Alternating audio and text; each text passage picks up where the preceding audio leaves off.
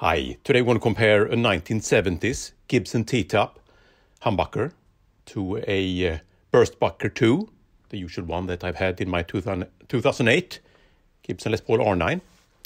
Uh, so we're going to play it in, in that guitar. I'm going to, uh, I'm going to in, in a couple of seconds, I'm going to show you the, the rig we're going to use here. Uh, now, at least here in Sweden, these are T-tops from the 1970s are between three, four, maybe even five times more expensive uh, than at least uh, used Burstbucker. Uh, so, so they ha- they have to be a bit better if it's if it's going to be worth the money to upgrade. I've been using this burst Burstbucker 2 along with the Seymour Duncan Alnico 2 Pro for a long time now, and I've been happy with those. But today we're going to compare it to because I've loved the T-tops in other guitars. So, so, so I, I really hope it's going to sound a lot better here. All right, I'm going to give you my detailed comments in in the uh, in the chat, uh, and I really want to hear what you think um, because I, I my taste goes back and forth. So so you know if I if, if I if I uh, if I draw any conclusions now and watch the video in a week, I'm, I'm just going to be ashamed of what I'm saying. So, so uh, let's discuss it in the comments instead. All right, let's go. All right, here's the recording setup. It's an AKG C414BXL2. Uh, that, that's the room mic. I don't know how much I'm going to use that. Set to Omni. And there's two close mics at this 1960 B-Cab from 71. It's one new SM57 and one 1960s 545. Uh, I'm using the uh, uh, Marshall Studio Vintage, only first channel, volume at 2, uh, and Les Paul R9, and now it's the T-top in it. And that goes through uh, API 312 preamps and Studio Konnekt 48, and then the MacBook Pro with Cubase. All right, let's compare the mics.